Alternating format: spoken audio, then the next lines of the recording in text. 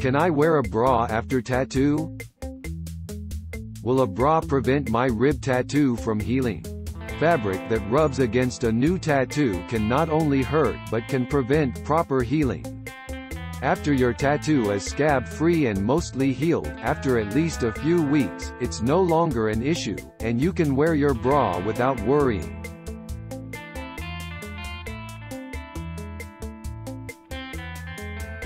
Thanks for watching. Please subscribe.